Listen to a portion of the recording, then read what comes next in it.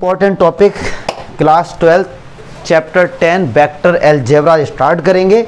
और समझ लीजिए कि अब हमारा थ्री स्टार्ट हो चुका है। अब थ्री से हम लोग थोड़े बहुत फेमिलियर भी हैं। क्लास 11 में एक टॉपिक था चैप्टर ही था पूरा थ्री तो सबसे पहले तो ये बता दूँ आपको, एक क्वेश्चन दिमाग में आ रहा हो कि सर वेक्टर एलजेब्रा हमने फिजिक्स में पढ़ा हुआ है। पढ़ा है ना आप लोग फिजिक्स में? तो फिर हमें और और बता दें कि मैथ्स में जो वेक्टर है, वो बहुत ही सिंपल है। ज़्यादा कॉम्प्लिकेटेड क्वेश्चंस नहीं फिजिक्स में अपर लेवल पर है फिजिक्स में 11th क्लास में पढ़ा होगा आपने। तो क्वेश्चन ये आता है कि सर हमें क्यों पढ़ा रहे हो? जो हमने फिजिक्स में पढ़ लिया तो क्यों सिलेबस में है? तो सुन लो इसका केवल एक रीज़न है सिलेबस में क्यों है? जो बच्चे कॉमर्स विद मैथ्स लेते हैं, क्या उन्होंने 11 में फिजिक्स पढ़ी होगी? नहीं पढ़ी होगी। तो उनके लिए है ये केवल केवल बेसिक कंसेप्ट है। वेक्टर एलजेब्रा में इसमें केवल हम क्या क्या पढ़ेंगे? वेक्टर का प्लस माइनस मल्टीप्लिकेशन डिवाइड तो पॉसिबल होता नहीं है, क्योंकि वेक्टर क्या होता है? एक डायरेक्शन होता है डायरेक्शन का डिवाइड कैसे पॉसिबल वो वो ये सब फिजिक्स का कंसेप्ट है। मतलब तीन चीज़ें ही हम लोग इसमें पढ़ेंगे केवल, जबकि वेक्टर तो बहुत वास्ट है, अगर हम लोग फिजिक्स की बात करें। तो ये केवल जिन बच्चों ने कॉमर्स विद मैथ्स लेते ना तो कम से कम उन्हें वेक्टर के बारे में थोड़ा बहुत पता तो हो ना, इसलिए ये है। ऐसे ही 11th क्लास में चैप्टर 15 था, उसका नाम क्या था? स्टैटिस्टिक्स। तो वो है कॉमर्स का कंसेप्ट मैथ्स वाले बच्चों को केवल इंट्रो पार्ट के लिए के लिए बताया जाता है कि कल को मान लो कॉमर्स वाले बच्चे अगर कोई वेक्टर की बात करे तो थोड़ा बहुत ये उससे कहें हाँ भाई, हमने थोड़ा बहुत पढ़ा है। तो एक बार ये जान लो कि ये सिलेबस में क्यों है? केवल कॉमर्स वाले बच्चों का बेसिक कंसेप्ट के लिए है। अब चलिए हम लोग पढ़ते हैं वेक्टर के बारे में। तो यार, अगर कोई भी हमारे पास फ़िज़िकल क्वांटिटी है तो वो दो तरीके से इसको हमने पढ़ा है। फिजिक्स में एक तो होता है स्केलर कोई भी स्केलर क्वांटिटी और वेक्टर क्वांटिटी बहुत अच्छे से हमको पता है कि यार, इसमें होता है मैग्नीट्यूड इसमें होता है मैग्नीट्यूड एंड डायरेक्शन और एक चीज़ देखो, ये टॉपिक या इसका जो भी कंसेप्ट बहुत देसी तरीके से हम लोग पढ़ेंगे। प्रैक्टिकली क्या यूजेस हैं इनके, वो सब लोग पढ़े हैं। उस तरीके से हम लोग पढ़ेंगे। अब यार ये मैग्नीट्यूड मैग्नीट्यूड क्या होता है? अगर मैग्नीट्यूड की हम बात करें, जैसे मैंने आपसे कहा, यार 10 किलोमीटर जाओ। बस इतना आपसे कहा है कि टेन किलोमीटर जाओ। तो टेन किलोमीटर क्या होगा? एक मैग्नीट्यूड होगा। ये एक क्वांटिटी को रिप्रेजेंट करता है। लेकिन अब आप एक क्वेश्चन पूछेंगे ना कि, सर 10 किलोमीटर कहाँ जाऊँ? किस डायरेक्शन में जाऊँ? अगर मैं आपसे कहता हूँ, यार 10 किलोमीटर जाओ ईस्ट में तो समझ लो मैं किसकी बात कर रहा हूँ? वेक्टर अब वो 10 किलोमीटर वेक्टर क्वांटिटी है। जैसे, एक दो एग्जांपल से आपको समझाता हूँ। जैसे suppose I am asking to you what's your height आपने कहा कि, सर, मेरी हाइट है six feet then I will not ask to you in which direction क्या मैं आपसे पूछूँगा कि भाई आपकी हाइट अगर सिक्स फीट है, किस डायरेक्शन में? अगर मैं ऐसा पूछता हूँ तो ये क्वेश्चन मीनिंगलेस है। तो इसका मतलब जो हाइट है, वो क्या है? स्केलर क्वांटिटी क्योंकि इसमें डायरेक्शन में आप अगर लेटे हो, हमने तुम्हें ईस्ट में फेंक दिया वेस्ट में फेंक, तुम्हारे साथ खेल रहे हैं हाइट में कोई फ़र्क नहीं पड़ेगा। मैंने आपसे पूछा, यार टाइम क्या हो रहा है? आपने कहा, सर थ्री पी मैंने कहा इन विच डायरेक्शन भाई टाइम का कौन सा डायरेक्शन हर डायरेक्शन में टाइम तो वही होगा ना। तो टाइम भी क्या है? स्केलर क्वांटिटी है। क्लियर है? अच्छा मैंने कहा, भाई, तुमको बुखार आ गया, मान लो। मैंने कहा, आपका टेम्परेचर क्या आपने कहा, सर 101 आ रहा है। मैंने कहा 101 किस डायरेक्शन में? तो आप कहोगे, सर, एक तो हमें बुखार है और आप ऊपर से मज़े ले रहे हो, किस डायरेक्शन में? तो ये सब क्या है? स्केलर क्वांटिटी क्योंकि इसमें डायरेक्शन वाली बात हो ही नहीं सकती। लेकिन अगर मैं आपसे कहूँ कि ये मान लीजिए मार्कर रखा हुआ है मैंने कहा, इस पर टेन न्यूटन का फोर्स लगाइए। तो आप पूछेंगे ना, सर, किस डायरेक्शन में? क्योंकि अगर आपने इस डायरेक्शन में फोर्स लगाया तो ये इस तरफ़ जाएगा। अगर आपने ऐसे लगाया तो इस तरफ़ जाएगा। तो क्या डायरेक्शन का रोल है इसमें? सही बात है ना? जैसे मैंने कहा, अगर मान लो ये चेयर रखी हुई है, मैंने कहा, इसमें आप फोर्स अप्लाई करो। तो आप पूछेंगे ना, सर, किस डायरेक्शन इसको इस इस डायरेक्शन में या इस डायरेक्शन में? तो इसलिए फोर्स हमारा क्या है? एक, क्या है? वेक्टर क्वांटिटी है। आ रही बात समझ में? तो ये सब फिजिक्स का मैथ्स का कुछ भी नया नहीं है। अब बड़ी समस्या आती है, जैसे आपको बताएँ कि यार, जो स्पीड होती है, वो किसमें आती है? स्केलर क्वांटिटी में आती है। अब वेलोसिटी किसमें आती है? वेक्टर में। लेकिन दोनों की यूनिट क्या होती हैं? Same meter per second yes और नो अब यार, आपसे अगर मैंने कहा कि बताओ 10 मीटर पर सेकंड ये स्केलर है कि वेक्टर है? कंफ्यूजन क्योंकि यार, क्या पता ये स्पीड हो, क्या पता ये हमारी वेलोसिटी हो? तो आप नहीं बोल सकते कॉन्फिडेंटली कि ये स्केलर क्वांटिटी होगी या फिर ये वेक्टर क्वांटिटी होगी। लेकिन बाई डिफ़ॉल्ट बाई डिफ़ॉल्ट हम इसको स्केलर क्वांटिटी कंसीडर करते हैं। अगर वेलोसिटी होगी तो लिखा जाएगा 10 metre per second in north direction तब समझ जाना कि वो क्या है? वेक्टर क्वांटिटी क्योंकि इन दोनों की यूनिट सेम है ना इतना तो यार फिजिक्स में पता ही है ना। दोनों की यूनिट क्या होती है? सेम है। तो इसीलिए अब अब कंफ्यूजन हु, हुई ना कि 10 मीटर पर सेकंड क्या है यार ये? वेक्टर है स्केलर है। अपने आप से पूछो। तो यार कहोगे पता नहीं स्पीड की यूनिट है पता नहीं कि वेलोसिटी की है। तो वाई डिफ़ॉल्ट अगर कभी क्वेश्चन एक नंबर में आता है कि बताओ स्केलर है वेक्टर है तो वाई डिफ़ॉल्ट स्केलर की तरह ट्रीट किया जाएगा। हाँ अगर इसमें डायरेक्शन लगा दिया जाएगा तो फिर हमारे क्या हो जाएगा? वेक्टर तो ये आइडेंटिफाई करना कि कौन सी अब आपको पता होना चाहिए कि मास क्या है हमारी स्केलर क्वांटिटी, वेट क्या हमारा। वेक्टर क्वांटिटी है, ठीक है, टेम्परेचर, टाइम, ये सब हमारे क्या स्केलर क्वांटिटी है, एक्सीलरेशन, फोर्स, ये सब हमारे क्या है, वेक्टर क्वांटिटी, ये बहुत छोटी बात है, सब हमने नाइन्थ क्लास से हम लोग पढ़ते आ रहे हैं। अब हम, मैं एंट्री करता हूँ भाई, वेक्टर पे। और एक चीज़ eleventh class sorry twelfth class में जो वेक्टर जो हम लोग पढ़ेंगे, वो बहुत डीप में नहीं है, बहुत ही बेसिक कंसेप्ट है, क्योंकि डीप में है वो सारा फिजिक्स में मैं बता दिया कि ये जो वेक्टर पढ़ रहे हैं केवल इसलिए पढ़ रहे हैं कि कॉमर्स वाले बच्चे थोड़ा सा ऐसे फैमिलियर हो जाए वेक्टर से। इलेवेंथ क्लास में अगर याद आ रहा होगा तो बहुत डीप में था। तो ट्वेल्थ क्लास में मैथ्स में वेक्टर को वेक्टर को क्या कंसीडर किया गया? वेक्टर को एक लाइन कंसीडर किया गया विच है डायरेक्शन वेक्टर को मैथ्स में एक लाइन कंसीडर किया गया विच हैज़ डायरेक्शन मतलब क्या हम वेक्टर को डायरेक्टेड लाइन बोल सकते हैं? बिल्कुल बोल सकते हैं। डायरेक्टेड लाइन की तरह कंसीडर किया गया है और इसमें ज़्यादा डीप में कुछ है ही नहीं लोचा। ट्वेल्थ क्लास की मैथ्स में जो वेक्टर है बहुत ही सिंपल है। ठीक है जी?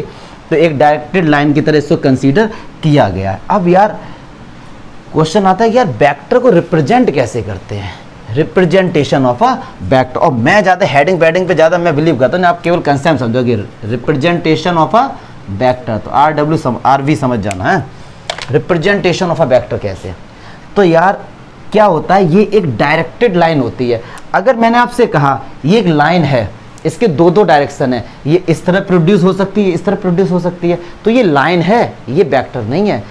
अब मैंने एक डायरेक्शन बता दिया इसका कि भाई ये तो ये इस डायरेक्शन में जा रही है, ठीक है? जिसको रे भी हम लोग बोलते हैं। तो ये जो इसका होता है, ये इनिशियल पॉइंट भी बोलते हैं इसको। क्या बोलते हैं इसको? इनिशियल पॉइंट भी बोलते हैं, ठीक है? और टेल भी बोलते हैं इसको डिफरेंट डिफरेंट बुक्स में डिफरेंट डिफरेंट तरीके से इसको बताएगा। ओरिजन भी बोलते हैं इसको ओरिजन ऑफ़ अ बैक्टर ये भी बोला जाता है, ठीक है? अच्छा जो ये एरो साइन होता है, इसको क्या बोलते हैं? टिप भी बोलते हैं, ठीक है? हेड भी बोलते हैं, और टर्मिनल भी बोलते हैं। Terminal of a vector terminal means होता है एंड होता है ना कि ये स्टेशन हमारा क्या है? टर्मिनल स्टेशन मतलब इसके बाद ट्रेन आगे नहीं जाएगी। तो इस इस पॉइंट को क्या बोला जाता है? Terminal of a vector clear है? अगर इनिशियल पॉइंट ए है, ठीक है, और फाइनल पॉइंट हमारा बी है तो इस वेक्टर को रिप्रेजेंट करेंगे ए बी वैक्टर जो पहले आता है इनिशियल होता है, बाद में आता है, वो हमारा फाइनल होता है। इस तरीके मतलब इसका मीनिंग क्या होगा कि इसका जो, इस वेक्टर का जो डायरेक्शन है, वो ए से बी पर जा रहा है। क्लियर है? पक्की बात, जहाँ भी डाउट है तुरंत स्टॉप कर दें, क्योंकि बहुत डीप में हम लोग पढ़ेंगे, जबकि फिजिक्स का है, लेकिन बहुत डीप में इसलिए पढ़ेंगे, क्योंकि थ्री में दबा के इसका यूज़ है। चलिए कभी कभार क्या होता है, किसी वेक्टर का इनिशियल और फाइनल पॉइंट नहीं पता है हमको। जैसे सपोज़ ये एक वेक्टर है, कुछ नहीं पता इसका इनिशियल फाइनल तो इसको किसी भी एक नेम से स्मॉल ए से रिप्रेजेंट कर देंगे। ये हमारे एक ए वैक्टर हो गया। क्लियर है? क्योंकि हमको पता नहीं इसका इनिशियल फाइनल पॉइंट का, इस तरीके से भी रिप्रेजेंट कर सकते हैं। अब देखिए मैग्नीट्यूड ऑफ़ अ वेक्टर कैसे लिखते हैं तो मॉडुलस का साइन लगा देंगे। तो ये क्या हो गया? इस तरीके से या कोई ए बी वैक्टर है मॉडुलस का जो साइन लग जाएगा तो इसका मतलब वो क्या हो गया? उस, उस वेक्टर का मैग्नीट्यूड हो गया। कभी अब जो बात बता रहा हूँ इसका है तो बहुत सिंपल सी लेकिन याद रखना ए वेक्टर का मैग्नीट्यूड ऐसे रिप्रेजेंट करो या ओनली ऐसे रिप्रेजेंट ए से रिप्रेजेंट कर दो एक ही बात होती है कंफ्यूज मत होना क्योंकि मोस्टली बुक्स में ज़्यादातर इसका यूज़ होगा। अगर ए के साथ वेक्टर है तो तो ये वेक्टर हो गया। अगर कुछ भी नहीं है तो समझ लो ये किसी वेक्टर का मैग्नीट्यूड को रिप्रेजेंट कर रहा है। मतलब बता रहा है कि उसका मैग्नीट्यूड कितना है। क्लियर है? तो हमेशा याद रखो, किसी भी वेक्टर का जो मैग्नीट्यूड होगा, ये या तो ज़ीरो होगा, या फिर ज़ीरो से बड़ा होगा, क्योंकि मैग्नीट्यूड ज़ीरो से नीचे तो हो ही नहीं सकता। क्योंकि वो डायरेक्शन बताता है ना, किसी ना किसी डायरेक्शन में तो आप जाओगे तो डायरेक्शन कैसे ज़ीरो हो सकता है? और सुन लो जरा ध्यान से कि अगर मैं किसी वेक्टर की बात करता हूँ तो जो ये एरो साइन होता है, ये इसका डायरेक्शन बताता है। और जो इसकी लेंथ होती है लेंथ होती है, वो मैग्नीट्यूड बताती है। ये नंबर की बात नहीं हो रही, बिल्कुल भी नॉलेज की बात हो रही। कभी एग्ज़ाम में ये जितनी बातें बताई, ये पूछते नहीं है। ये हम लोग अभी बेसिक कंसेप्ट पर ज़्यादा फोकस करें। मतलब ये अगर ये वेक्टर है तो ये इसकी लेंथ होगी ना तो ये किसको रिप्रेजेंट कर रही है? मैग्नीट्यूड को। और जो ये एरो है, ये किसको रिप्रेजेंट कर रहा है? डायरेक्शन को। क्योंकि भैया वेक्टर में दो दो चीज़ें होती हैं। तो ये हमने रिप्रेजेंट करना सीख लिया वेक्टर को। बहुत ही सिंपल चीज़ है इस तरीके से रिप्रेजेंट करते हैं, इस तरीके से। अब जो पढ़ने जा रहे हैं, वो है पोजीशन वेक्टर क्या होता है? फिर उसके बाद डायरेक्शन कोसाइंस वगैरह पढ़ेंगे तो अब बड़ी इंपॉर्टेंट चीज़ें आने वाली हैं। पोजीशन वेक्टर क्या होता है? पढ़ा है फिजिक्स में, ज़रूर फिजिक्स में तो बहुत डीप में पढ़ा होगा, अगर आपको याद आ रहा होगा इलेवेंथ क्लास का तो। चलिए अच्छा पोजीशन वेक्टर क्या होता है? देखते हैं। पोजीशन वेक्टर एक होता है डिस्प्लेसमेंट वेक्टर दोनों ही बता देंगे, लेकिन डिस्प्लेसमेंट वेक्टर का एनसीईआरटी में कहीं ज़िक्र नहीं है, लेकिन हम लोग पढ़ लेंगे थोड़ा सा। पोजीशन वेक्टर देखो क्या होता है। पहले मैं टू में समझाऊँगा, फिर मैं थ्री में सिंपल है बहुत चीज़। ये हमारे पास एक्स एक्सिस है, ये वाई एक्सिस है। ठीक है जी? ये हमारा ओरिजिन है, पक्की बात है, ओ ज़ीरो कॉमस ज़ीरो कोई सा भी एक पॉइंट मान ली यहाँ पर एक कोई पॉइंट है ए ठीक है जी? मैंने इस पॉइंट का ओरिजिन से एक वेक्टर बना दिया इस डायरेक्शन में। तो ये, अब जो ये इस वेक्टर का नाम दे दिया मैंने आर वेक्टर मान लो। किसी भी किसी भी नेम से रिप्रेजेंट कर सकते हैं। अगर आर वेक्टर में कंफ्यूजन हो रही तो इसको ओ ए वेक्टर लिख दो। तो ओ ए वेक्टर जो होगा, ये हमारा कहलाएगा पोजीशन वेक्टर क्यों? क्योंकि पोजीशन वेक्टर बताता क्या है? किसी भी पॉइंट का ओरिजिन से डायरेक्शन बात खत्म। किसी भी पॉइंट का ओरिजिन से मिला दो और जो वेक्टर बन जाएगा, वो पोजीशन वेक्टर होगा। कंडीशन सिर्फ़ एक है, बहुत सिंपल है, कि ओरिजिन से होना चाहिए। पक्की बात है। अब आप कहेंगे, क्या सर, ये पोजीशन वेक्टर है? बिल्कुल नहीं है भाई ये, क्योंकि इसका इनिशियल पॉइंट जो है, वो ओरिजिन होना चाहिए। ओरिजिन है क्या इसका? नहीं है। तो ये पोजीशन वेक्टर नहीं हो सकता। पोजीशन वेक्टर केवल और केवल इनिशियल पॉइंट जो उसका होता है, वो ओरिजिन से होना चाहिए। अब थोड़े समय बाद ये थोड़ा सा घूमने निकला था। अब टी टाइम बाद, मान लो ये इस जगह आ गया। बी पॉइंट पर आ गया। घूमते घूमते तो अब इसका डायरेक्शन ये हो गया। अब ये क्या बन गया? ओ बी वैक्टर अभी भी O B vector position vector है। क्यों? क्योंकि मैंने इसका ओरिजिन से निकाला। क्लियर है? तो अब मैंने क्या किया? ए से बी को मिला के नया वेक्टर जो बनाया है, ये जो हमारा है, ये हमारा क्या कहलाता है? डिस्प्लेसमेंट वेक्टर क्लियर है? इसने बता दिया कि भाई कितना डिस्प्लेस हो गया है। पढ़ा है ना? फिजिक्स में डिस्प्लेसमेंट तो ये हमारा हो गया डिस्प्लेसमेंट वेक्टर तो यार एक सिंपल सी बात समझो पोजीशन वेक्टर क्या होता है? किसी भी पॉइंट का ओरिजिन से हमने मिला दिया। सिर्फ़ देसी लैंग्वेज हम समझेंगे, ज़्यादा हम उसमें नहीं जाएँगे, क्योंकि हमको डेफिनेशन आती है, वो ज़्यादा मैटर नहीं करता, हमको कंसेप्ट आता है समझ वो ज़्यादा मैटर करता है। अब इसी चीज़ को थ्री में समझ समझ लेते हैं। तो थ्री में क्या है? अब देखो, एक चीज़ क्लियर कर दूँ। अब भैया, जब जब मैं बोलूँगा थ्री तो आप समझ जाना कि कोई भी टीचर मैं क्या कोई भी टीचर वाइट बोर्ड पे थ्री क्वेश्चन को तो करा ही नहीं सकता। केवल इमेजिनेशन अब वर्क आपकी करेगी। इमेजिनेशन, क्या? इमेजिनेशन वर्क करेगी, क्योंकि ये सपोज़ एक्स एक्सिस है, ये वाई एक्सिस है और ये जी एक्सिस है। तो यार, ये जो एक्स एक्सिस होगी ना, ये कायदे में इस तरीके से होगी।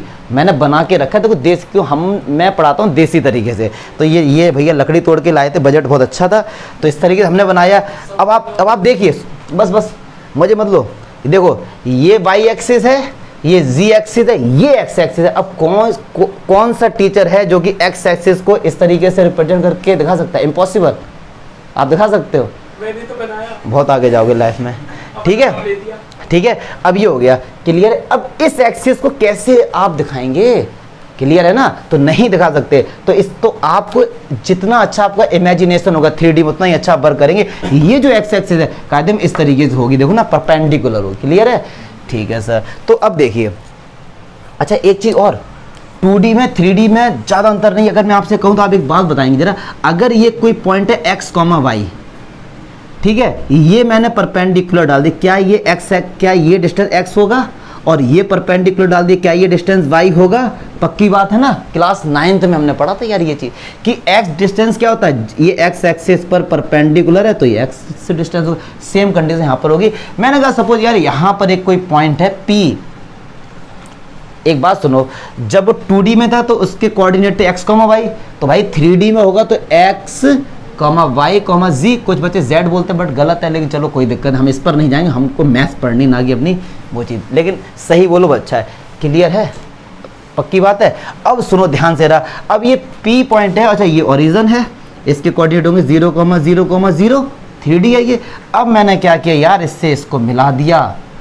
तो ये जो वेक्टर है, क्या ये पोजीशन वेक्टर नहीं होगा? बिल्कुल होगा। और याद रख रख लो पोजीशन वेक्टर को आर वेक्टर से रिप्रेजेंट किया जाता है। तो हमारा ये जो वेक्टर है, और ऐसा नहीं है, हमारा ये वेक्टर भी जो, मान लो ये नाम भी है तो ये वेक्टर ही हमारा क्या होगा? पोजीशन वेक्टर होगा।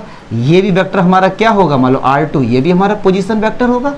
ऑरिजन के साथ अगर किसी पॉइंट को मिला के एक डायरेक्ट लाइन बना देते हैं सिंपल सी बात है तो हमारा क्या होता है? पोजीशन वेक्टर कहलाता है। पक्की बात है? हाँ? कर्व मतलब ऐसी ऐसी। ये मैंने अभी बताया, जैसे इनका क्वेश्चन है कि सर ये कह रहे हैं, यहाँ से ऐसे बना देंगे कर्व में। तो क्या ये पोजीशन वेक्टर होगा? भैया वेक्टर को क्या कहते हैं? डायरेक्टेड लाइन लाइन होनी चाहिए। कर्व का तो कंसेप्ट ही नहीं है इसमें। लाइन होनी चाहिए ठीक है? कर्व नहीं बना सकते हम लोग। और कोई हाँ डायरेक्शन ये बहुत अच्छा कोई कि सर डायरेक्शन तो हम किसी का भी हम बता सकते हैं लेकिन बेटा कर्व में हर पॉइंट पे डायरेक्शन चेंज होता है। पता है आपको ये बात? अगर मैंने कहा ये कर्व है इसका हर पॉइंट पे डायरेक्शन चेंज हुआ होगा। एक बंदा यहाँ पर अब आप इस तरफ़ जा रहे हैं इस तरफ़ जा रहे हैं ठीक है ना? तो डायरेक्शन चेंज नहीं हो रहा है आपका। लेकिन एक स्ट्रेट लाइन पे जाएँगे तो डायरेक्शन कहाँ चेंज हुआ आपका? बात समझना ये चीज़? तो कर्व का इसमें कोई भी लोचा नहीं है। तो ये सारे जो पॉइंट्स हैं, अगर इनको मैं ज्वाइन करता हूँ ऑरिजन से तो ये सारे पोजीशन वेक्टर होंगे। मुझे नहीं लगता इसमें कोई ज़्यादा भयंकर लोचा है कुछ इसमें, ठीक है?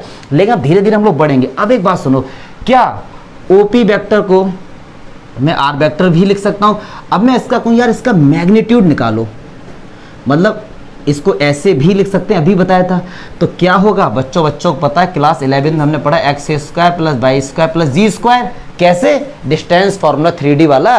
क्या हो? इसको ले लो एक्स वन, वाई वन और जी वन। इसको X two, Y two, Z two. तो फॉर्मूला क्या होता है? X two minus X one का होल इसका अंडर रूट के अंदर। यही तो पढ़ा था क्लास इलेवेंथ में। तो ये पोजिशन वेक्टर हमारा ये निकल कर आ गया। क्लियर है। अब सुन लो ध्यान से एक बात। ये हमारा है थ्री अब देखो, ये हमारा रहा पोजिशन वैक्टर ये रहा। क्लियर है? अब सुनो, ये हमारा आर वैक्टर है। ध्यान से देखेंगे, इसको फील करेंगे यार इसको। जब तक थ्री को इमेजिनेशन जितना अच्छा होगा, ये हमारा आर वैक्टर है। इसके कोऑर्डिनेट क्या है? X comma Y comma Z ठीक है? अगर मैं आपसे पूछता हूँ कि इसमें को रिप्रेजेंट करो तो पता क्या करोगे? यहाँ से x एक्सिस पे डाला परपेंडिकुलर तो ये जो डिस्टेंस होगा, ये क्या हो गया? X इससे डाला वाई पे परपेंडिकुलर ये डिस्टेंस कितना हो गया? वाई इससे डाला जेड या जी जो भी आप बोलते हैं, इस पे परपेंडिकुलर तो ये डिस्टेंस कितना हो गया? जी क्यों? क्योंकि परपेंडिकुलर डालकर ही तो वो डिस्टेंस आता है। बात समझा? नहीं समझे? चमका ना ये चीज़? फील करो इस चीज़ को, क्योंकि देखो इमेजिनेशन जितना अच्छा होगा, उतना ही आपको अच्छा समझ आएगा। तो ये हमारा हो गया पोजीशन वेक्टर अब हम लोग बहुत इंपॉर्टेंट टॉपिक पढ़ेंगे, जिसका नाम है direction cosines most important topic है। ये जो चल रहा ना, ये एक्सरसाइज टेन पॉइंट वन का इंट्रो पार्ट ही है। Direction cosines and and direction ratios क्या होते हैं भाई? इनको समझ लेना, बहुत प्यार से देसी तरीके से पढ़ें। क्यों? क्योंकि थ्री में दवा के यूज़ है। इन पर तीन तीन, चार चार नंबर के क्वेश्चन आते हैं इन पर। तो समझेंगे कि डायरेक्शन कोसाइंस क्या होता है एंड डायरेक्शन रेशियोज क्या होते हैं। हम लोग पढ़ रहे हैं थ्री तो यार थ्री बना लेते हैं जल्दी से। और एक चीज़ लेके चलिए। वैसे आप एक्स वाई जी एक्सिस किसी को भी लेट कर सकते हैं बट एक स्टार्टिंग लेते इसको मोस्टली एक्स ये वाई और ये जी ये मैंने एक ले लिया। पोजीशन वेक्टर पी इसके कोऑर्डिनेट है X comma Y comma Z इसको आर वेक्टर से हम लोग रिप्रेजेंट कर देते हैं। ठीक है? अभी तक तो बहुत सिंपल है। अब मैं स्टार्ट करता हूँ डायरेक्शन कोसाइंस क्या होते हैं। सबसे पहले, इससे पहले हम लोग पढ़ेंगे डायरेक्शन एंगल्स क्या होते हैं। डायरेक्शन एंगल्स क्या होते हैं। अब यार एक बात बताइए, ये पोजीशन वेक्टर है, इसने एक्स एक्सिस के साथ वाई एक्सिस के साथ और जी एक्सिस के साथ एंगल बनाए होंगे, पक्की बातें बनाए होंगे। कैसे? प्रैक्टिकली देखो, ये रहा हमारे पास थ्री और ये हमारे पास रहा पोजिशन वैक्टर ये एक्स एक्सिस के साथ एंगल ये वाई एक्सिस के साथ और ये जी एक्सिस के एंगल तो भैया बने होंगे।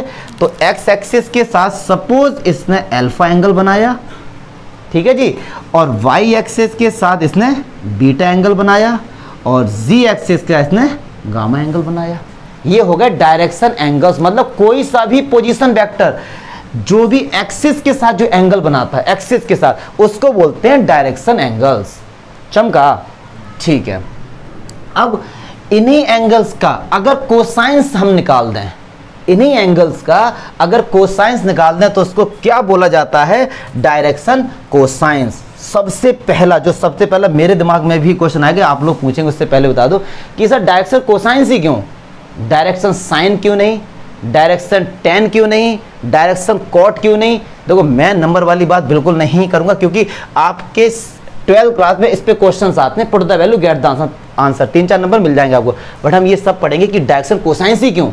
डायरेक्शन टेंजेंट क्यों नहीं? डायरेक्शन को टेंजेंट क्यों नहीं? अभी सब बताएँगे, बस आप समझते रहिए था अब इमेजिनेशन का खेल है इमेजिनेशन का खेल। अब देखिए, इस पॉइंट से मैं y एक्सिस पे, x एक्सिस पे और z एक्सिस पे परपेंडिकुलर ड्रॉ करूँगा। तो वाई एक्सिस का तो आपको बड़ा आसानी से दिख जाएगा परपेंडिकुलर ये रहा भैया। ये पर तो क्या ये डिस्टेंस वाई नहीं होगा? Z एक्सिस पे बहुत आसानी से आपको दिख जाएगा।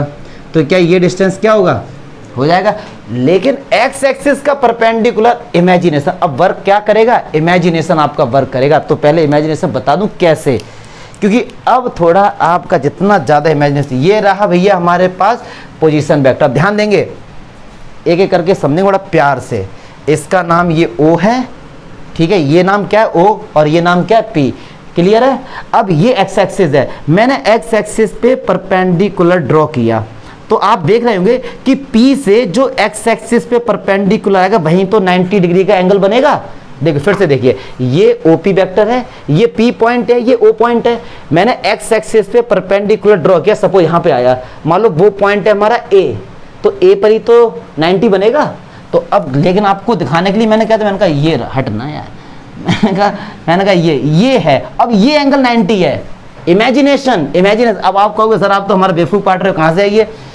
तो इमेजिनेशन इमेजिनेशन केवल, क्योंकि देखो यार, ये यहाँ से ये 90 पड़ गया, देखिए। अब ये 90 है ना क्लियर है? इसका नाम अब एक बात सुनो ट्रायंगल ओ पी ए क्या राइट एंगल ट्रायंगल नहीं है? समझो ना, पक्की बात है? ठीक है जी। अब राइट एंगल ट्रायंगल है और राइट एंगल किस पर है? ए पर। अब ओ और ए का चक्कर देखें कैसे? फिर से देखेंगे जरा, प्यार से समझेंगे। ये इस तरीके से भैया बन गया हमारा, इन लोगों को दिख रहा होगा, दिख रहा होगा। ये बन गया हमारा राइट एंगल ट्रैंगल ये पॉइंट क्या है हमारा?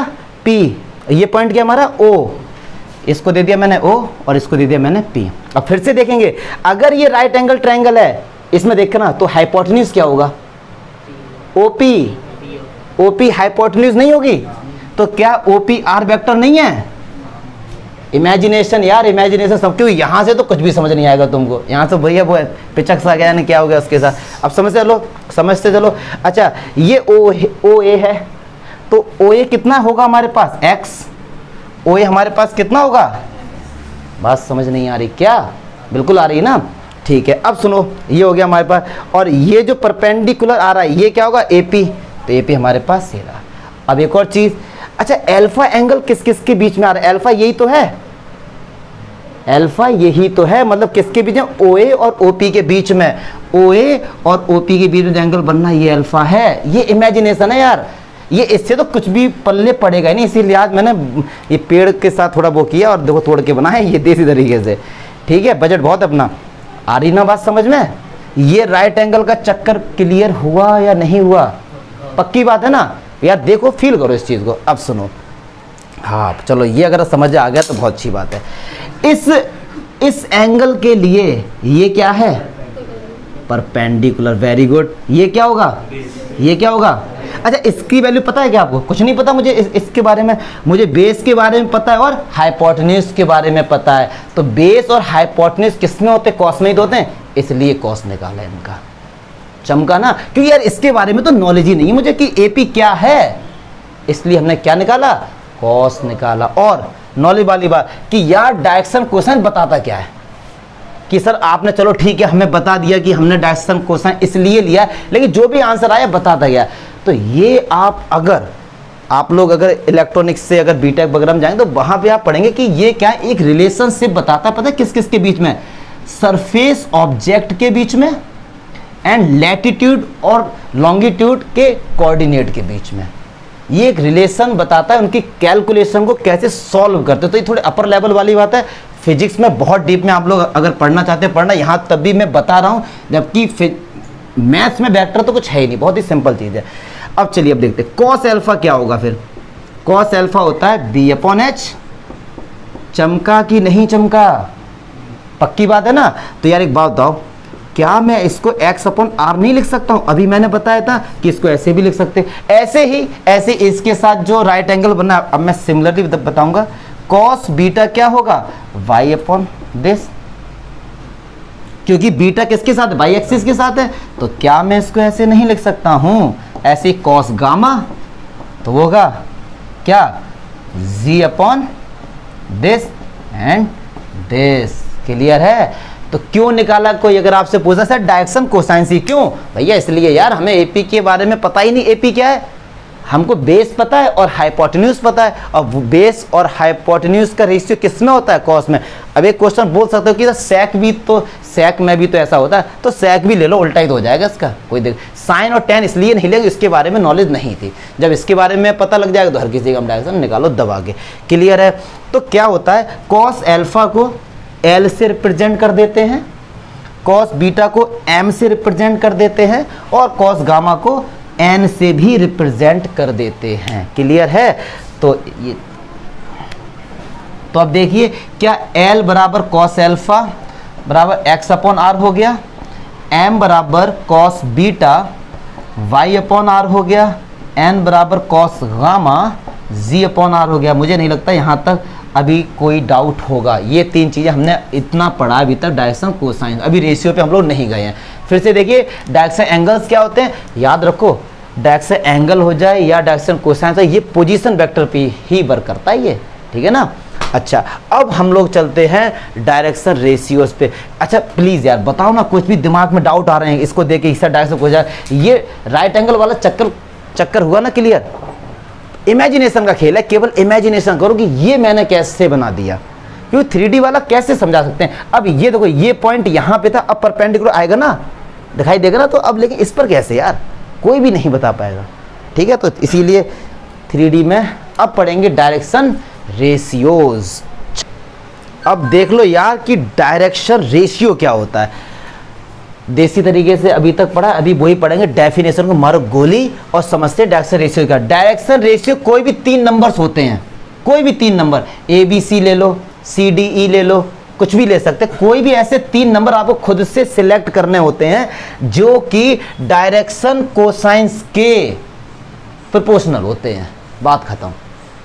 जो कि डायरेक्शन कोसाइंस के क्या होते हैं? प्रोपोर्शनल सपोज़ मैंने कहा A upon L B upon M और सी अपॉन एन इनका डिवाइड किया तो एक, कोई आंसर एक ही आना चाहिए। अब ये कांस्टेंट आना चाहिए वन बाई टू आ जाए वन बाई थ्री आ जाए, कुछ भी आ जाए। लेकिन ये तीन नंबर खुद से आप बताइए, क्या होंगे ये ऐसे तीन नंबर जिनका उसी वेक्टर के, सुनो, ये एक वेक्टर है, इस वेक्टर का डायरेक्शन रेशियो भी होगा, इस वेक्टर के डायरेक्शन कोसाइंस भी होंगे होंगे। तो इस वेक्टर का जो डायरेक्शन रेशियो होगा, वो तीन होंगे, क्योंकि भैया एक्स वाई जेड है।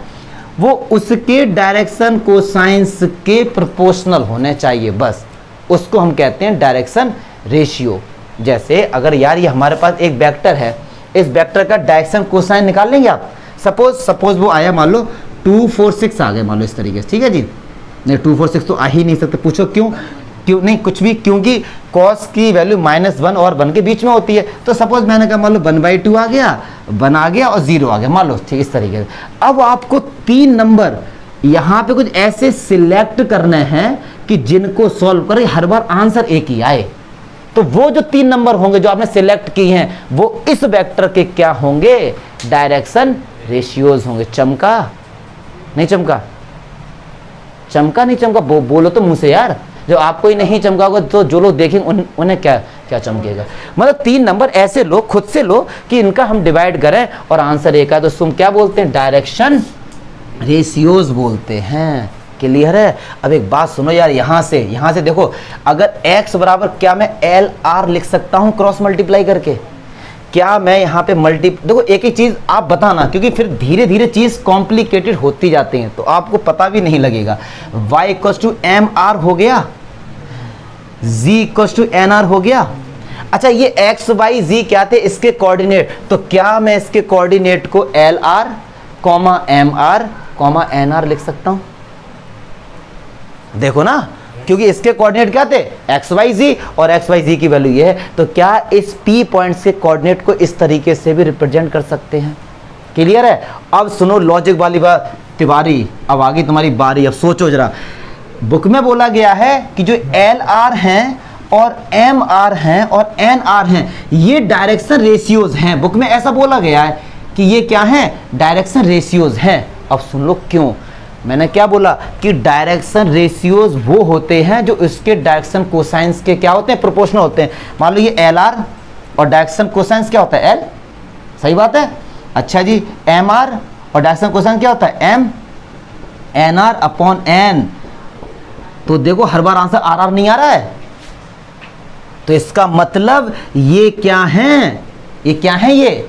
डायरेक्शन रेशियोज तो इसको हम डायरेक्शन रेशियो इसलिए बोल देते हैं। सुनो डायरेक्शन रेशियो का चक्कर समझो, कोई भी तीन ऐसी वैल्यू जिनको उसी के डायरेक्शन कोसाइंस के साथ मल्टीप्लाई करें आंसर सेम आए। तो देखो ना आंसर आर आर आर नहीं आ रहा है। क्यों आ रहा है? कि जब आपने इसका डिवाइड किया है तो L R M R N R को क्या डायरेक्शन रेशियो नहीं बोल सकते? पक्की बात है, और डायरेक्शन रेशियोज को रिप्रेजेंट करते हैं ए बी सी से। तो क्या ए को एल आर नहीं बोल सकते बी को एम आर नहीं बोल सकते, और सी को एन आर नहीं बोल सकते? डियर बताओ ना। अदो चीज़ें कॉम्प्लिकेटेड होती जा रही हैं। धीरे, कहाँ से चले थे, कहाँ पर आ गए? क्लियर तो ये होते हैं हमारे डायरेक्शन रेशियोज और बड़ी इंटरेस्टिंग चीज़ याद रखना हमेशा L square M square plus N square one होता है। हम बताएँगे, हम पढ़ते हैं नॉलेज के लिए, हम इसका प्रूफ भी अभी बताएँगे एक सेकंड के अंदर, ज़्यादा बड़ा नहीं है। L square M square N square का सम क्या होता है? वन होता है। ये पहले तो याद रखो नंबर के लिए। अब इसका प्रूफ देखते हैं सर कैसे? तो यार, एक बात बताओ एल बराबर एक्स अपन आर होता है? पक्की बात है? तो एल का स्क्वायर करते हैं यहाँ से। तो एल का स्क्वायर क्या होगा? X square upon R square और एम का क्या होगा? Y square upon R square और इसका क्या होगा?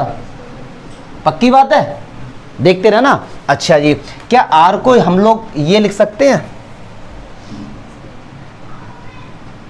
पूछो क्यों? क्योंकि ये क्या है? मैग्नीट्यूड है।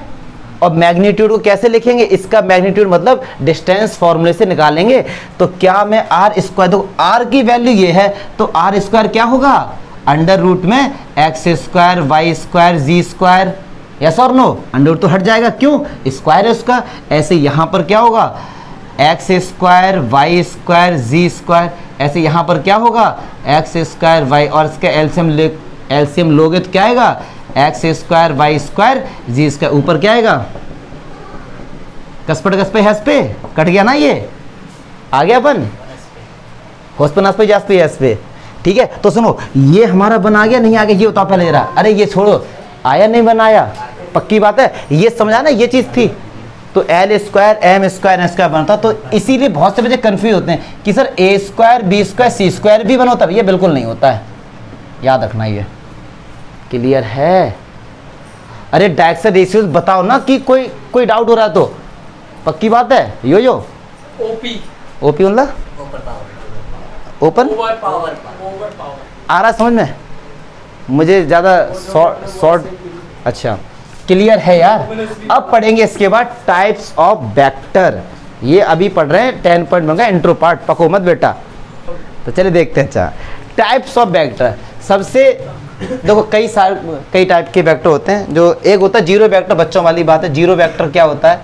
भैया ज़ीरो वेक्टर जिसका इनिशियल फाइनल पॉइंट एक ही होता है। मतलब जहाँ से चले, जैसे ये हो गया हमारा। क्या? ज़ीरो वेक्टर इसको रिप्रेजेंट करने का तरीका? ए ए वेक्टर जो इनिशियल वेक्टर वही हमारा फाइनल है। जो इनिशियल पॉइंट है वही हमारा क्या फाइनल इसीलिए इसका नाम क्या है? ज़ीरो वेक्टर चमका डिस्प्लेसमेंट ज़ीरो चमका ना? मतलब ये सुनो ये इनिशियल है ये इनके बीच में थोड़ा तो डिस्टेंस है ना? लेकिन इसके बीच में कुछ नहीं। जैसे बीबी क्या ये? सर्कल इसमें डिस्प्लेसमेंट ज़ीरो है डिस्टेंस तो कवर किया ना आपने? इसका डिस्टेंस ज़ीरो होता है। और पहली बार इसमें तो कर्व आ रहा है यार। इसमें तो कर्व आ रहा है, ठीक है? अब बड़ा इंटरेस्टिंग है, जिसमें बहुत से बच्चों आता भी है, नहीं भी आता यूनिट वेक्टर बहुत देसी तरीके से पढ़ेंगे, वरना डेफिनेशन को तो मार दो गोली। हाँ ये हमको केवल इतना ही पता है कि इसका मैग्नीट्यूड वन होता है। क्यों इसका नाम है यूनिट यूनिट मीन्स क्या होता है? वन लेकिन सुनो, ये एक ऐसा वेक्टर है, ये खुद में एक वेक्टर नहीं होता है। ये किसी पे डिपेंड होता है। प्रैक्टिकली समझेंगे इसको। जैसे ज़ीरो वेक्टर खुद का एक एक वेक्टर है। ये कोई भी एक ऐसा वेक्टर है जिसका अपना कोई वजूद नहीं है। सपोज़ क्या? ये यूनिट वेक्टर आप हमेशा किसी गिवन वेक्टर का फाइंड कर सकते हैं। किसी कोई एक वेक्टर दिया गया होगा, उस वेक्टर का यूनिट वेक्टर फाइंड करने को बोला जाएगा। ठीक है? जैसे फॉर एग्ज़ाम्पल फॉर एग्ज़ाम्पल आपको प्रैक्टिकली समझाता हूँ। मैंने यार आपसे कहा कि सपोज़ मैंने आपसे कहा, यार, तुमको ना 10 किलोमीटर दौड़ना है। आपसे कहा तो एकदम आज आपने मान लो पहली बार रेस स्टार्ट करी है। मैं कह रहा हूँ, भैया 10 किलोमीटर दौड़ जाओ। तो कहाँ हिम्मत कर पाओगे आप? नहीं कर पाओगे। तो आपसे हम बोलेंगे, भैया, पहले एक किलोमीटर रनिंग करो आप। ठीक है, फिर एक करो। मतलब उसको थोड़े थोड़े पार्ट्स में डिवाइड कर देना। क्लियर है? जैसे मुझे याद आ रहा है इंग्लिश में, हम लोग जब, मैं तो भैया यूपी बोर्ड से था तो एट्थ क्लास में मुझे पक्का याद है, मेरी मेमोरी थोड़ी तेज है, क्योंकि मैंने संग पुष्टि पी थी चार साल। तो उसमें इंग्लिश का एक एक आंसर इत, इतना लंबा था मतलब इतनी लाइंस थी उसकी। तो यार मुझे याद ही नहीं होता क्यों एक माइंड सेट हो गया था यार इतना बड़ा लेंदी इतना बड़ा मतलब बड़ा लेंदी क्या?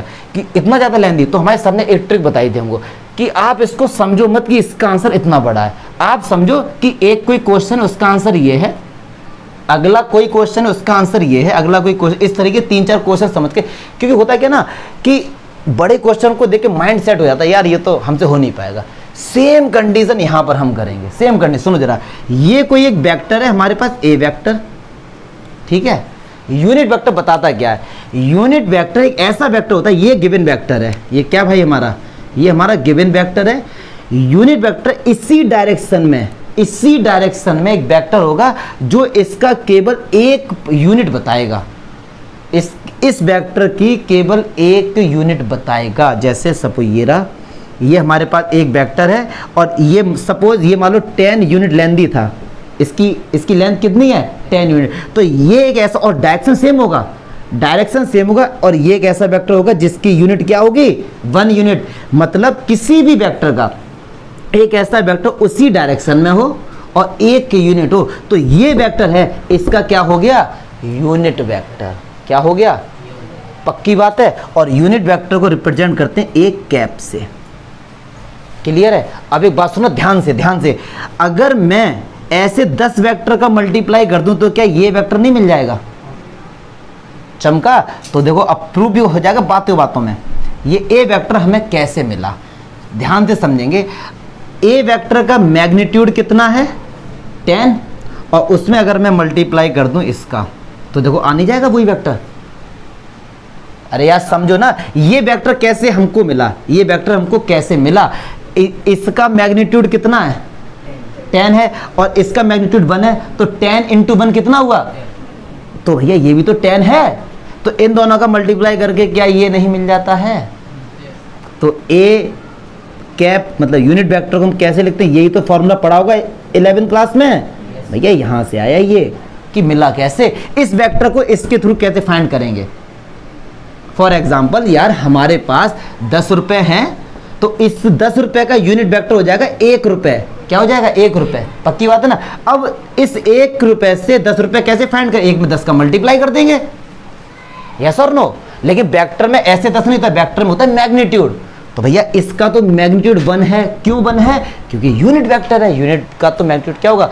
और भैया, ये एक ऐसा वेक्टर है जिसकी ना तो कोई यूनिट होती है और ना कोई डायमेंशन होती। केवल ये डायरेक्शन बताता है। ये आपको बातें याद रखनी है। इसकी ना तो खुद ही कोई यूनिट होती है। ये एक तो बेचारा इस पर इस पर डिपेंड हो रहा है। ना इसकी कोई डायमेंशन होती है। ये केवल डायरेक्शन बता देता है बस। ठीक है? अब आपने पढ़ा होगा कि ये I cap J cap K cap क्या है फिर ये? क्या है ये? ये भैया एक्सिस के यूनिट वेक्टर हैं। ये एक्स एक्सिस है। एक्स एक्सिस अब पता नहीं कितनी लेंथ ये इसकी लेंथ क्या हमको नहीं पता। तो इस लेंथ का एक वेक्टर एक यूनिट ये क्या होगी? आई कैप ये जे कैप और ये के कैप और ऐसा नहीं है, ये पैरेलल ये इसके ऊपर भी हम लोग बना सकते थे। ये इतना एक यूनिट है और ये हमारा ए कैप है। यार यूनिट क्लियर हुआ नहीं हुआ? ये होता पहले। ये खुद का, इसका कुछ नहीं होता है। ये किसी गिवन वेक्टर का हम लोग यूनिट वेक्टर फाइंड करते हैं। बस उसकी एक यूनिट को बताता है, इस तरीके से हम लोग फाइंड कर ले। चमका, ये ये बात क्लियर हुई ना ये? कि नहीं हुई? अगर आ रहा है कुछ अंदर से, निकालो यार उसे, कि सर हाँ क्या? हम्म? पूछ लो तुम्हें तो पैसे भी देने, पूछो यार तुम। बनाने की ज़रूरत क्या थी? देखो हाँ सही है बेटा। तुम पहले ये तो पढ़ लो। चलो, ये कह रहा है कि यूनिट वेक्टर बनाने की ज़रूरत क्या थी? यूनिट वेक्टर बहुत अच्छा क्वेश्चन आपने पूछा। बहुत देर से देख, आप आप बैठे थे। यूनिट यूनिट वेक्टर की रिक्वायरमेंट नहीं, क्या हुआ कि अगर कोई चीज़ बहुत ज़्यादा बड़ी होती है, उसको हम छोटे छोटे पार्ट्स में डिवाइड कर ले तो उसका उससे से मल्टीप्लाई कर देते। हैं ये सारे फिजिक्स के हैं। इलेवेंथ में तो पूछा नहीं कुछ भी, ना? तो हम, कोई बात नहीं। अब सुनो, जैसे यही ना, कि ये बहुत बड़ा वेक्टर है इसको छोटे छोटे पार्ट्स में हमने ने डिवाइड कर लिया और उसका उतने ही पार्ट्स से मल्टीप्लाई कर देंगे तो ये पूरा वेक्टर हमको मिल जाएगा क्लियर है? अब पढ़ेंगे। अब तो सिंपल सिंपल है, जल्दी जल्दी पढ़ लेते हैं। फिर आता है को इनिशियल वेक्टर रहो यार। को इनिशियल वैक्टर को इनिशियल वेक्टर मतलब दो ऐसे वेक्टर जिनका इनिशियल पॉइंट क्या होता है? सेम एक वेक्टर ये रहा, एक वेक्टर ये रहा. लेंथ इसकी ज़्यादा है, इसकी कम है डजेंट मैटर एक जगह से ही जा रहे हैं तो ये वेक्टर क्या होते हैं? को इनिशियल वेक्टर होते चमका, फिर एक आता है नेगेटिव वेक्टर ये अच्छा इंपॉर्टेंट है. मतलब नेगेटिव वेक्टर एक वेक्टर है, हमारे पास कोई ए बी वैक्टर इसका जस्ट उल्टा कर दो. डायरेक्शन चेंज कर दो. और मैग्नीट्यूड सेम होता है इनका. मैग्नीट्यूड में अगर ये मान लो एक वेक्टर है, इसका मैग्नीट्यूड टू है तो इसका भी टू ही होगा। सेम मैग्नीट्यूड होता है डायरेक्शन क्या होता है? तो ए बी वैक्टर ध्यान रखना, कभी भी B A B A vector के बराबर नहीं हो सकता। अब सही है। अब सही है। तो ए बी वैक्टर और बी ए वैक्टर के बीच में एंगल जो होता है, वो क्या होता है? पाई रेडियन या बोले तो एट्टी डिस्पिग्री क्लियर है? एक होता है, अब आते हैं, एक कोई डाउट तो नहीं इसमें? एक होता है equal vector Malhotra.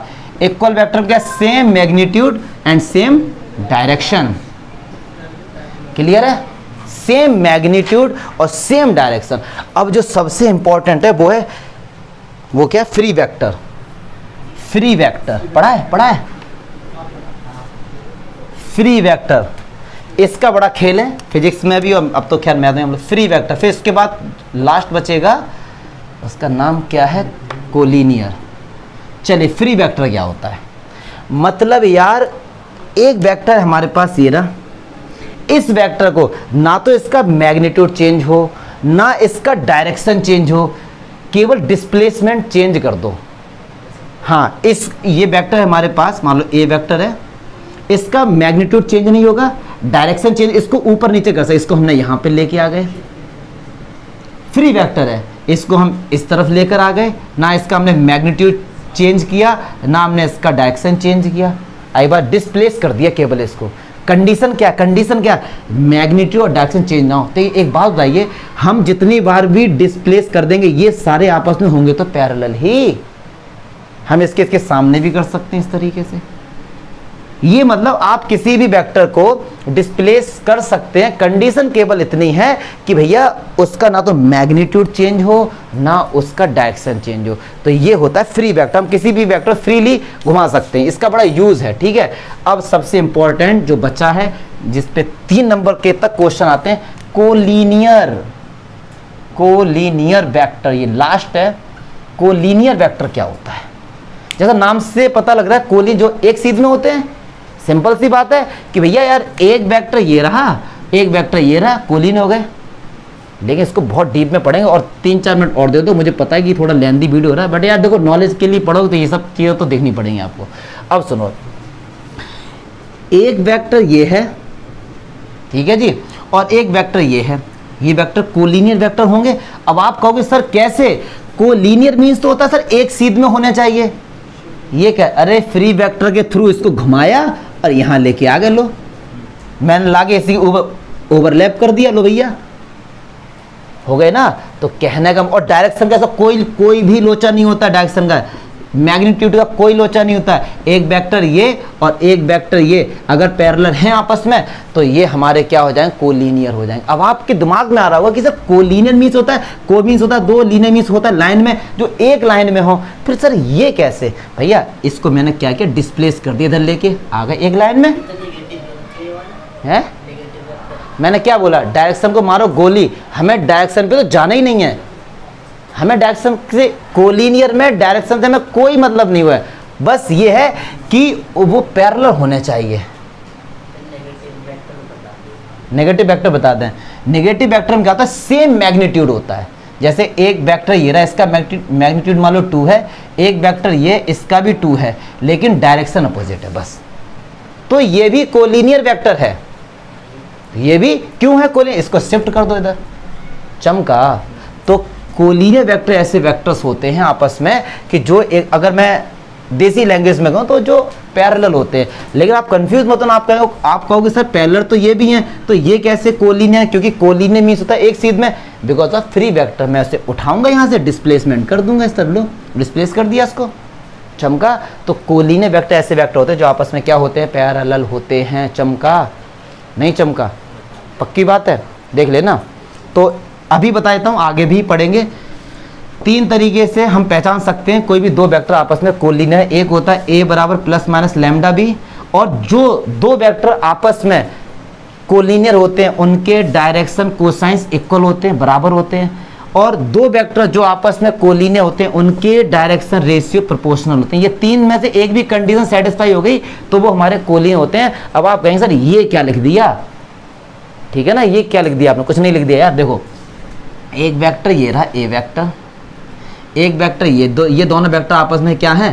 पैरेलल हैं. पक्की बात है. अच्छा ये वेक्टर देखने से बड़ा लग रहा है और ये वेक्टर देखने से छोटा लग रहा है.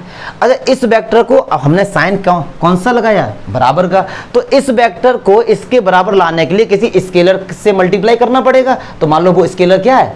लैम्डा मैंने क्या किया? लैम्डा का बी में मल्टीप्लाई कर दिया, तब वो ए के बराबर हो गया. ये बात समझ आ रही नहीं आ रही है? माइनस साइन क्यों लगाया? क्योंकि वो अपोजिट डायरेक्शन में था। अगर ये बी वेक्टर इस तरफ़ कर देते तो ए प्लस आज हो जाता। क्लियर है? तो प्लस माइनस माइनस भी हो सकता है प्लस भी हो सकता है। इसीलिए बराबर प्लस माइनस लेमडा भी ये तीनों में से कोई भी कंडीशन सेटिस्फाई हो गई तो हम कह सकते हैं दोनों वेक्टर आपस में क्या हैं? भैया चमका आज, आज का लेक्चर क्लियर हुआ नहीं हुआ? कल हम लोग फिर इसकी एक्सरसाइज और एग्ज़ाम्पल कवर करेंगे। क्लियर है? बहुत इंपॉर्टेंट चीज़ें थी ये। चलो